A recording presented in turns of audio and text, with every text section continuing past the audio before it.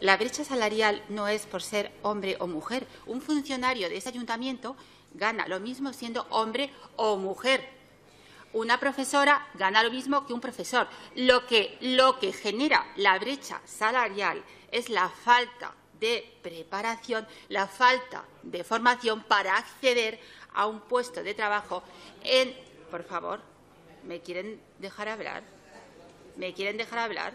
Lo que tendremos que procurar, ¿eh? aumentando la formación y la educación, es facilitar el acceso a las mujeres a puestos que estén más retribuidos y que, por supuesto, consigamos que haya más hombres que se dediquen al cuidado mm, de. Señora de Botella, la tiene que ir concluyendo, por favor. Voy concluyendo.